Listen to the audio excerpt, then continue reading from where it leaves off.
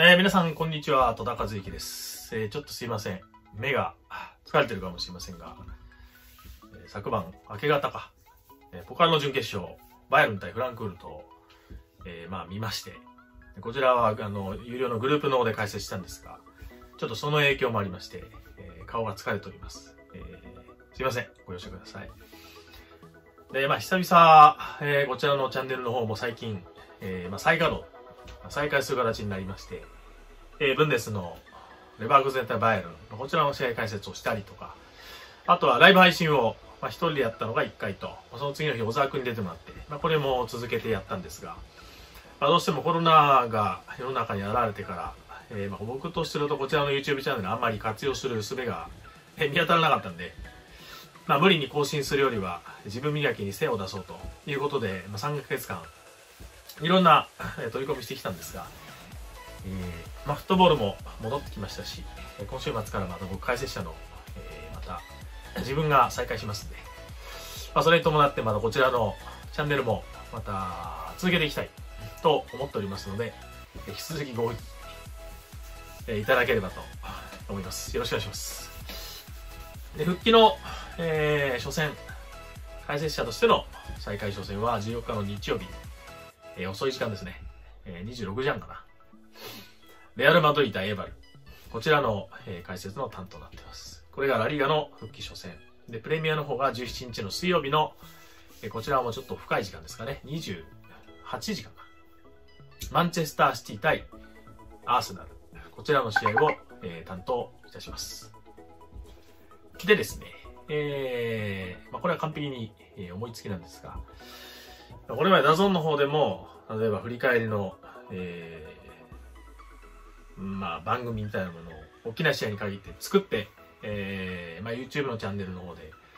出したり、えーしてきたんですが、やっぱりこう、どうしてもこう遅れるんですよね。当たり前ですけど。次の日に撮影するっていう、収録する。で、その次の日に出すって形になるので、試合が終わってからやっぱり2日後になってしまうんで、どうしても見る側からすると試合が終わった後の熱量とか、まあ、前の見な感じが薄くなるので、まあ、その上で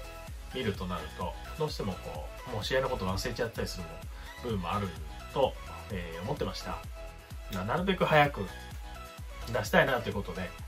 あの試合が終わってそのまま、えー無理ってレビューにこう移行して収録したこともあるんですけどそれでもやっぱり出すまで時間がかかるんで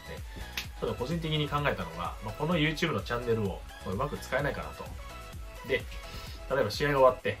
まあ、例えばシティとアーセナルの試合を、まあ、皆さんも見るんですがそれが終わったら、まあ、僕がはダゾンの、えスタジオから、まあ、自分がその寝るホテルに移動したらもうそこで、えレビューをやると。振り返りをすると。それをこのチャンネルで配信すると。まあ、そんなことをちょっと考えたんですけど、え皆さんがまあ参加してくれると盛り上がりますよね。で、まあ基本的に自分がこう話して、えー撮ったものを出すって形で、まあこれまでもやってきたんですが、まあどうせだったら、えーまあ皆さんと一緒に、まあ、振り返った方が面白いんじゃない？っていうことを、えー思いつきました。考えつきました。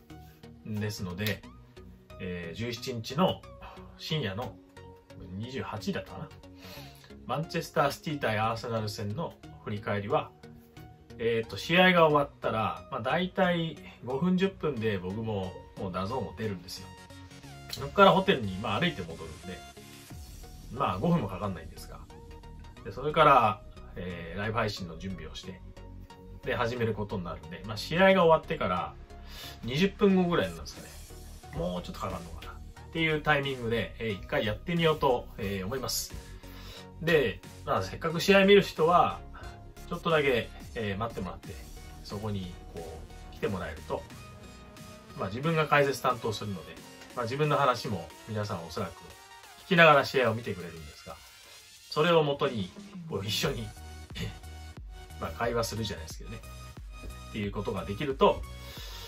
面白いんじゃないかなと、えー思いまして、これまでやったことがないことをまた思いついたんで、まあ、とりあえずやってみようかというところに、え考えが行き着いたんですが、それをちょっと話したくて今、え動画を撮ってます。ですので、まあ、そんなことがこう、皆さんが興味あるのかどうかを、え、教えてください。コメントください。で、まあ、この話がここで一回終わって、え、実は先ほどまで、え、一つインタビューの、え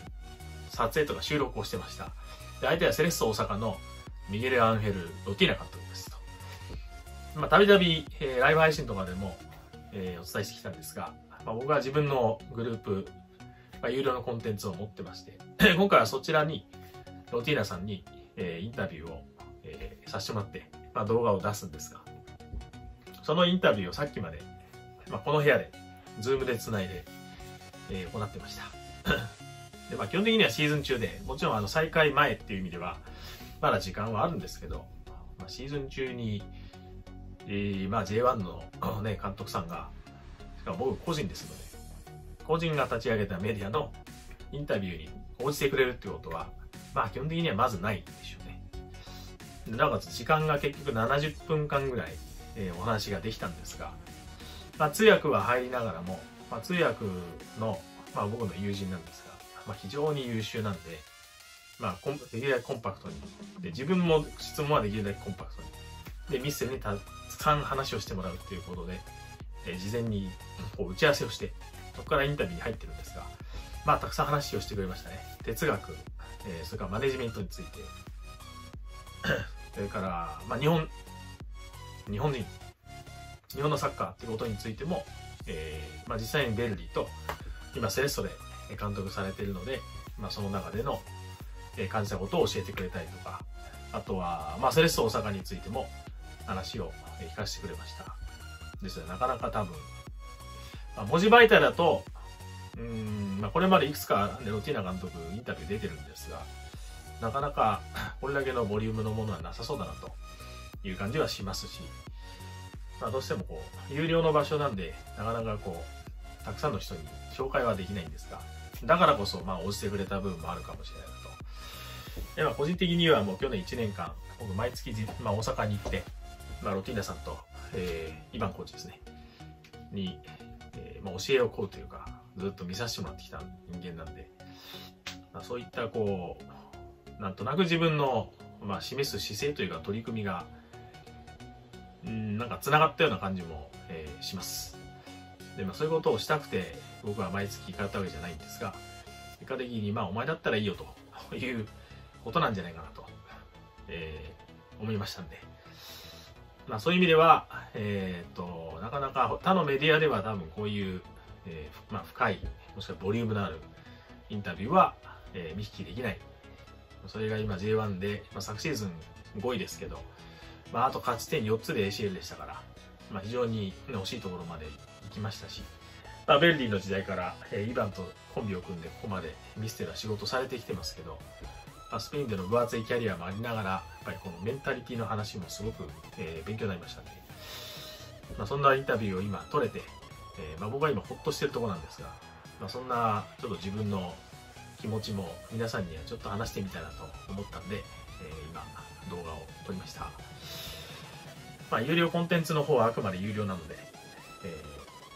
まあ、今のところ440人の方がメンバーになってくれてるんですが、まあ、こういったのティーナさんのミステルのインタビューもありますし、まあ、今朝方もポカールの準決勝の解説は僕したんですけど、まあ、試合解説も今からあと4つ5つあるんですかね。で、そこからまた自分と小沢君のライブ配信もあったりとかってことで考えると、まあ、結構ボリュームあるんですが、まあ、一応1500円、えー、お願いしてるので、まあ、なかなか1500円払ってそこまで来る人がいないっていうのは、えー、分かってるんですけど、まあ、とはいえ今月も440人の方がえ参加をしてくれたので、えー、本当にありがたい限りだなと。やりがいしかないですね。で、そこで、まあ、出してるものはそこでしか出さないんですが、こういう無料のプラットフォームも、ましっかり使って、えー、皆さんに、まあ、僕なりの情報提供はしたいなというところがありますので、まあ、今後も引き続き、こちらのチャンネルも、見てもらえたらなと思います。えー、今朝のポカーの準決勝は、フランクフルト側が、まあ、メンツ変えて、